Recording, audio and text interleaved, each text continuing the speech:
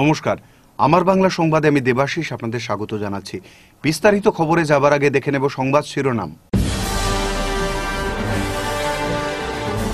ছেলের হাতে খুন বাবা, ধলাইয়ের পুনিখাল বস্তিতে লোমহর্ষক হত্যাকাণ্ড।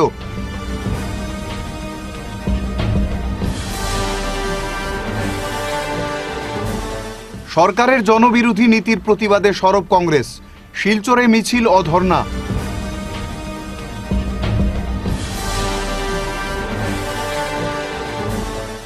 ফের এটিএম জালিয়াতি, অ্যাকাউন্ট থেকে গায়ে বাইশ হাজার টাকা।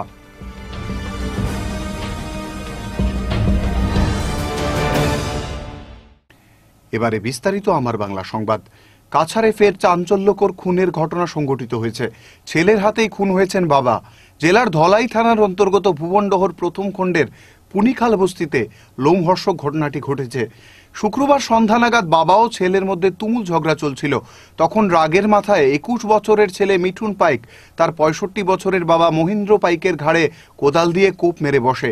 কোদালের আঘাতে ঘটনাস্থলেই প্রাণ হারান মহিন্দ্র। ঘটনার খবর পেয়ে ধলাই থানার পুলিশ বাহিনী একজন ম্যাজিস্ট্রেট সহযোগে ঘটনাস্থলে যায় এবং পিতা হত্যাকারী পুত্রকে গ্রেফতার করে নিয়ে আসে।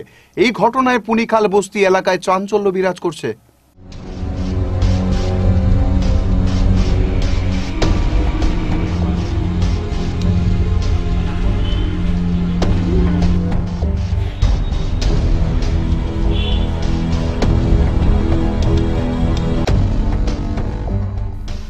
কেন্দ্র রাজ্য সরকারের জনবিরোধী নীতির প্রতিবাদে বিভিন্ন দাবিতে আন্দোলনে নামল কংগ্রেস।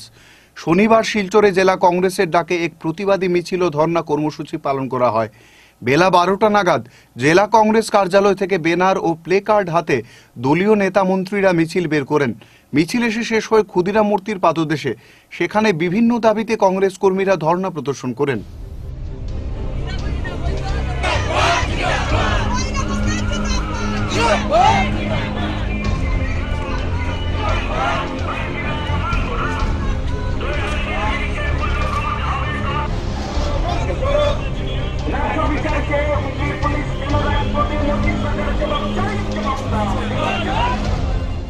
ধর্নাস্থলে যোগ দিয়ে প্রাক্তন সাংসদ সুস্মিতা দেব, সরকারের জনবিরোধী নীতির ফলেই যে জিনিসপত্রের অস্বাভাবিক মূল্যবৃদ্ধি ঘটছে তা তুলে ধরেন। তিনি বলেন, বিজেপি সরকার ক্ষমতায় আসার পর গোটা দেশ একটা অস্বাভাবিক পরিস্থিতির মধ্য দিয়ে চলছে। জনগণকে মিথ্যা প্রতিশ্রুতি দিয়ে সরকার ক্ষমতায় এসেছে বলে উল্লেখ করে সুস্মিতা। আজকে আমরা দেখতে পেরেছি যে ভারতবর্ষের ইতিহাসে এত বেরোজগারি হয়নি যেটা মোদী সরকার হওয়ার পরে হতে চলেছে। আজকে আমরা দেখতে পেয়েছি যে দেশের অর্থনৈতিক ব্যবস্থা ভেঙে পড়ছে। লজ্জার ব্যাপার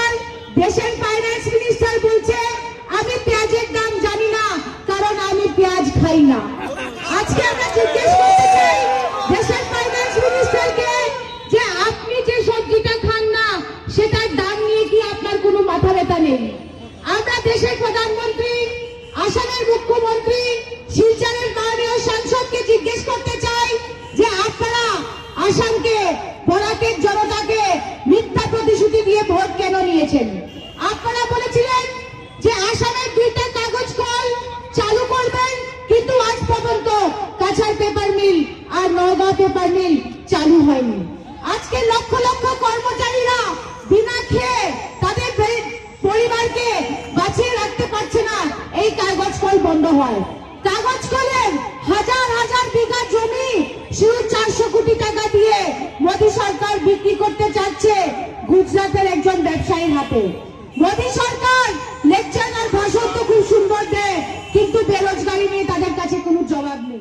ধর্ণা কর্মসূচিতে রাজ্যের প্রাক্তন মন্ত্রী অজিত সিং বক্তব্য রাখতে গিয়ে পেঁয়াজের দাম নিয়ন্ত্রণে না থাকার কারণ ব্যাখ্যা করেন।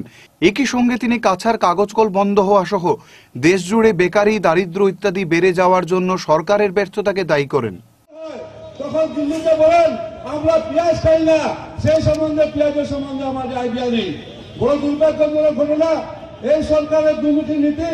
আমাদের সবাইকে নষ্ট করে দিয়েছে। আমাদের প্রয়াত নেতা মঞ্জুনাথ চৌধুরী সাহেবের স্বপ্ন।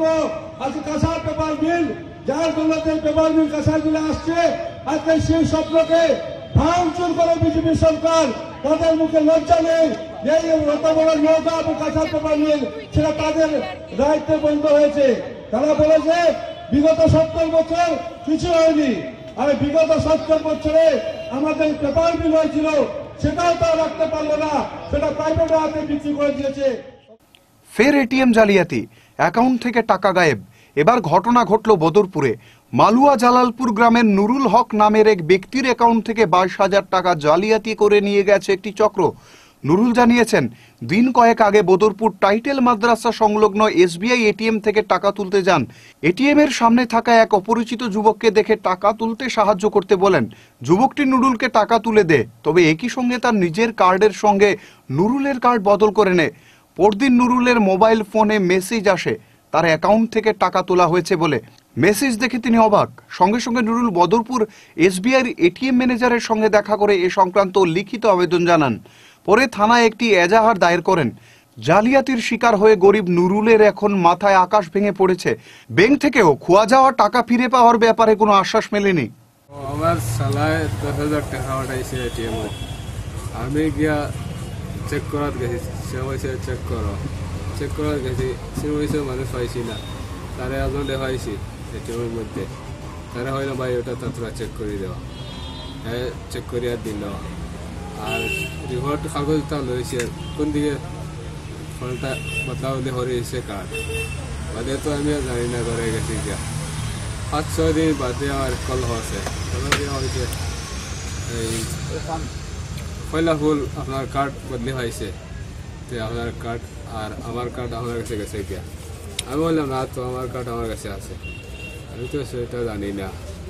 আমাদের তো আর কালকে গত পরশু আমার দরকার হচ্ছে টাকা। আমি গেছি এটিএম গিয়া দেখি এটিএম কাম করে না। দুই তিন জায়গা গেছি কাম করে না।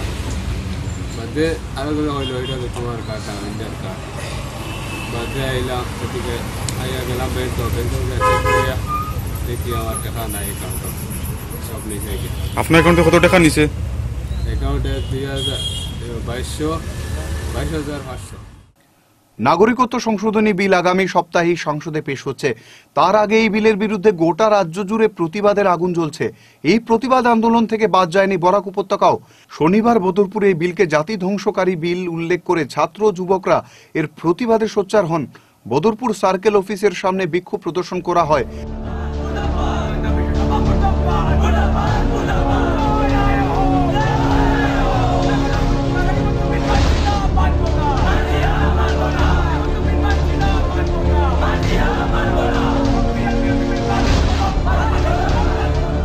নাগরিকত্ব বিলের নামে সরকার ভারতের সংবিধানের পরিপন্থী কাজ করছে বলে বিক্ষোভস্থলে বিভিন্ন বক্তা মত প্রকাশ করেন। বক্তব্য রাখেন বুন্দাশিল জিপি সভাপতি হবিবুর রহমান, উমরপুর জিপি সভাপতি আশিক উদ্দিন, মনসুর ও সৈদুল ইসলাম। জেলা পরিষদ সদস্য এনাম উদ্দিন, শাহাবুদ্দিন প্রমুখ। বিলখন। এই বিলখন সম্পূৰ্ণ সংবিধান বিৰোধী। সম্পূৰ্ণ সংবিধানক অপমান কৰা এই বিলখন কেতিয়াও অসমৰ মানুহে নামানে।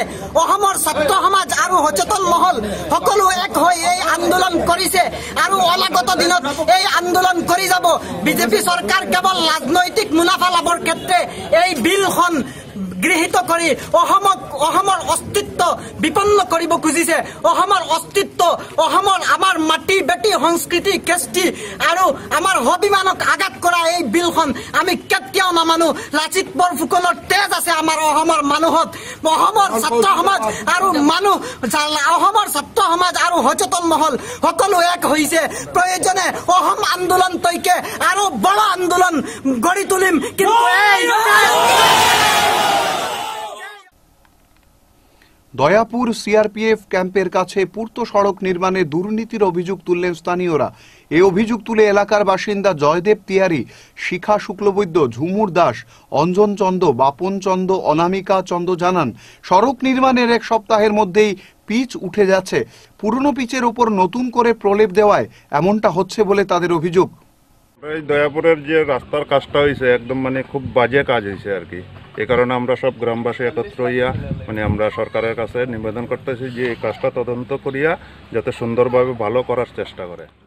তাছাড়া গর্ত থাকা জায়গায় মেটেল দেওয়া হলেও তাতে যথাযথ রোলার ব্যবহার না করায় গাড়ি চলাচল করলেই পাথর উঠে যাচ্ছে, তাই ইতিমধ্যেই ভেঙে পড়ছে সড়কের সাইড বাম। এলাকাবাসী জানান, পূর্ত বিভাগের তরফে সড়কটি মেরামত করা হলেও যে ফলক বসানো হয়েছে তাতে বরাদ্দকৃত অর্থের উল্লেখ নেই। ফলক লাগানি হয়েছে না ফলক লাগানি হয়েছে না। আচ্ছা কাজের কয়দিন পর থেকে ভাঙ্গা শুরু হয়েছে এ, গত বৃহস্পতিবারে ফেরানি হয়েছে আরেক বৃহস্পতিবার আইছে না এখনও। এক সপ্তাহ হয়েছে না আট দিন হয়েছে না। পাথরগুলা ছুটি ছুটি যাবে পাথরগুলা ছুটি ছুটি যায় ভারতের সংবিধান প্রণেতা ডাক্তার বি আর আম্বেদকরের মৃত্যু দিবস গতকাল ঘটা করে সর্বত্র পালিত হয়েছে। শিলচরে স্থাপিত হয়েছে আম্বেদকরের পূর্ণাঙ্গ মূর্তি কিন্তু শ্রীকোনা আইটিআইয়ের সামনে থাকা আম্বেদকরের মূর্তিটি অনেক দিন ধরে নোংরা হয়ে আছে। মূর্তির চারপাশ আবর্জনায় পরিপূর্ণ। সেদিকে এ যাবৎ কারও চোখ পড়ে নেই। বিষয়টি অনুধাবন করতে পেরেছে অখিল ভারতীয় বিদ্যার্থী পরিষদের সদস্যরা। শনিবার এভিপিপির উদ্যোগে স্থানীয় একটি কলেজের ছাত্রদের সহযোগিতায় আম্বেদকরের মূর্তিটি পরিষ্কার করা হয়। একই সঙ্গে মূর্তিতে মাল্যদান করে সমতা দিবস পালন করা হয়। উল্লেখ্য, মূর্তিটি দু হাজার আট সালে আলকাপুরের তৎকালীন বিধায়ক রাহুল রায় উদ্বোধন করেন। আমাদের ধারণা হতো, বিগত দু তিন বছর ধরে কোনো ধরনের ছয় ডিসেম্বর হোক বা অন্যান্য অনুষ্ঠানে সেই এই আবক্ষ মূর্তিটা অনেক অবহেলার মধ্যে রয়েছে এবং সেখানে আর সাফ সুতরা হয়নি। আমরা কালকে সংবাদ মাধ্যমে সেই ভিডিওটি দেখে আমাদের কার্যকর্তা অখিল ভারতীয় বিদ্যার্থী পরিষদের কার্যকর্তা প্রসজিৎ দে ও এখান দিয়ে যাওয়ার সময় চোখে পড়ে এবং মিডিয়া মাধ্যমে আমরা খবরটি আমরা আমাদের সামনে ছড়িয়ে পড়ে। তাই আজকে এখানে মনমোহন ঘোষ অনিন্দ দাস মেমোরিয়াল কলেজের ছাত্রছাত্রীরা এবং আমরা সবাই মিলে আজকে বি আর আম্বেদকর মূর্তি, বি আর আম্বেদকর মহাশয়ের মূর্তিটিকে আমরা আজকে পরিষ্কার পরিচ্ছন্নতা করি এবং আমরা শেষ পর্যন্ত এখানে কালকে আমাদের সমতা দিবস ছিল, আমরা সবাই অন্যান্য বিভিন্ন জায়গায় আমরা সমতা দিবস পালন করেছি বি আর আম্বেদকরের মূর্তিতে আমরা মাল্যদান করেছি। তাই এখানে আজকে সাত ডিসেম্বর আমরা এখানে মাল্যদান করি এবং পুষ্পাঞ্জলি প্রদানের মাধ্যমে সমতা দিবস পালন করি। আমরা সমাজের প্রত্যেক স্তরে মানুষকে এটা বার্তা দিতে চাই, যদি আবক্ষ মূর্তি উন্মোচনের পর যদি সেখানে অবহেলার মধ্যে থাকেন যদি মহাপুরুষের মূর্তিগুলা, তাহলে এই মূর্তি প্রতিষ্ঠা করার কোনো প্রয়োজনই নেই। যদি আমরা বিদ্যার্থী পরিষদের পক্ষ থেকে প্রতি বছর দীপাবলির আগে আমরা শিলচর শহরে বিভিন্ন প্রতিমূর্তিগুলোকে আমরা পরিষ্কার করি, কিন্তু সেখানে শিলচর শহর- থেকে একটু দূরে বি আর আম্বেদকরের মূর্তি আমাদের সেখানে অনেক অবহেলার মধ্যে ছিল। আমরা বিদ্যার্থী পরিষদের কার্যকর্তারা আগামী বছর এখানে এসে ছয় ডিসেম্বর হোক বা দীপাবলির আগে আমাদের পরিকল্পনা থাকে, বিভিন্ন মূর্তি আমরা পরিষ্কার করি, সেই মূর্তি আমরা এই মূর্তি আমরা পরিষ্কার করব বলে আজকে আমরা হচ্ছি কাছাড়ের ওজন ও পরিমাপ বিভাগের অনিয়ম নিয়ে সরব হয়েছে গ্রাহক সুরক্ষা সমিতি। শনিবার এক সাংবাদিক সম্মেলন ডেকে গ্রাহক সুরক্ষার সম্পাদক বিপ্লব গোস্বামী বিভাগীয় অনিয়মের বিরুদ্ধে সোচ্চার হন। তিনি জানান, এই বিভাগের কি কাজ রয়েছে? সে ব্যাপারে জেলার কোনো মানুষই কিছু জানেন না। দাড়িপাল্লার বাটখারা প্রতি বছর নবীকরণ করার নিয়ম থাকলেও সংশ্লিষ্ট বিভাগের কর্মীরা সদা ঘুমে নিমগ্ন থাকায় তা হচ্ছে না। লিগেল মেট্রোলজি ডিপার্টমেন্ট অর্থাৎ ওজন ও পরিমাপ বিভাগ সম্বন্ধে আমাদের গ্রাহক সুরক্ষা সমিতির দীর্ঘদিনের অভিযোগ রয়েছে। এখানে শিলচরের পঞ্চায়েত রোডে এই অফিস অবস্থিত এবং এই যে অফিস, এই যে বিভাগ, এই ডিপার্টমেন্টটা কেন এখানে আছে তা এই অঞ্চল বা কাছাড় জেলার জনগণ জানে না। এই ডিপার্টমেন্টের যারা এখানে যারা আছেন, কর্মকর্তারা যারা আছেন, আধিকারিকরা যারা আছেন, তারা বসে বসে প্রতি মাসে মাইনাই নিচ্ছেন বলে আমাদের ধারণা। কেন শিলচার বাজার, শিলচার ফাটক বাজার, রাঙ্গেরখাড়ি বাজার, আপনার নিউ শিলচার বাজার, তারাপুর বাজার, ইটখোলা বাজার এইসব বাজারগুলোতে বছরের পর বছর কোনো পরিদর্শন নেই এই বিভাগের ফলে ওজনে জনগণ মারাত্মকভাবে ঠকছেন আজকে বাজারে গেলে পরেই একশো টাকার নিচে কোনো সবজি পাওয়া যায় না। আপনার হাজার টাকার নিচে মাছ পাওয়া যায় না। আজকে যদি পঞ্চাশ গ্রাম বা একশো গ্রামই জনগণ ঠকে থাকেন, তবে নিজের পকেট থেকে একশো টাকা, বিশ টাকা, ত্রিশ টাকা এমনিতেই বেরিয়ে যাচ্ছে। এখানে আপনি দেখবেন বছরের পর বছর আপনার ইয়ে আপনার যে ওজনের যে আপনার পালা পাথর, এগুলো আপনার ইয়ে হয় না। রিনিউ হ্যাঁ এগুলো হয় না। বর্তমানে যিনি আছেন নির্মলচন্দ্র টাইট ওনার সঙ্গে আমরা যোগাযোগের চেষ্টা করছি যাতে এই ডিপার্টমেন্টটা সঠিকভাবে জনগণের প্রয়োজনে কাজে আসতে পারে, তার জন্য এই ডিপার্টমেন্টকে সক্রিয় করা। অতএব আমাদের দাবি হচ্ছে যে অবিলম্বে এইসব জিনিস এই এই বিভাগকে সক্রিয় করে তোলা এবং এই বিভাগের যারা যারা আধিকারিকরা আছেন তারা জনগণের স্বার্থে যাতে কাজ করেন, এই ব্যাপারে তাদের দৃষ্টি দেওয়া। আমরা ক্যামলিনের উদ্যোগে শনিবার স্থানীয় এক হোটেলে চিত্রকলার নতুন কিছু সামগ্রীর ওপর এক আলোচনা সভার আয়োজন করা হয়। এতে অঙ্কনের ছাত্রদের পাশাপাশি বিভিন্ন শিক্ষা প্রতিষ্ঠানে কর্মরত কলা শিক্ষকরাও যোগদান করেন। এছাড়া আসাম বিশ্ববিদ্যালয়ের ফাইন আর্টস বিভাগের ছাত্র শিক্ষকরা উপস্থিত ছিলেন। এইটা একটা আমাদের সিএসআর অ্যাক্টিভিটি হচ্ছে। এই ক্যামেল টিচার্স মিটটা আমরা প্রত্যেক বছর বিভিন্ন বিভিন্ন জায়গায় করি।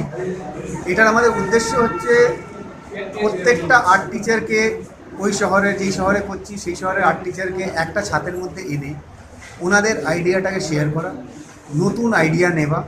এছাড়া আমাদের নতুন নতুন প্রোডাক্ট যেগুলো আগামী বছর লঞ্চ হয়েছে, ওই প্রোডাক্টগুলোকে নিয়ে ওনাদের সাথে ডিসকাশন করা, ওনাদের সাথে, ওনাদেরকে দিয়ে ইউজ করানো, আর তারপরে ওই প্রোডাক্টের উপরে ওনাদের প্রতিক্রিয়াটা জানা।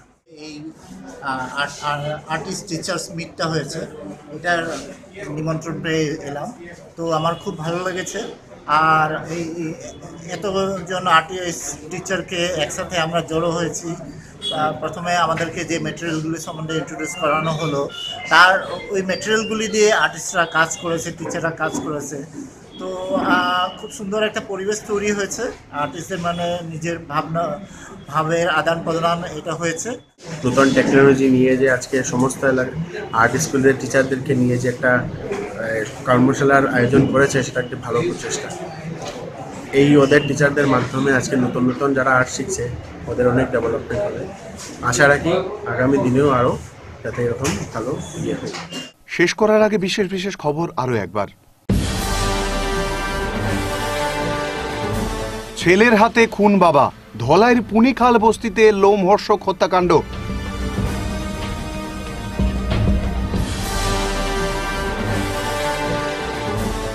সরকারের জনবিরোধী নীতির প্রতিবাদে সরব কংগ্রেস। শিলচরে মিছিল ও ধর্না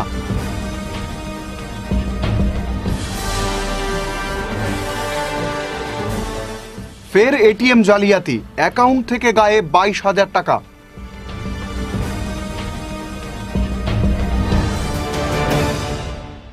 এখনকার মতো আমার বাংলা সংবাদ এ পর্যন্তই। নমস্কার।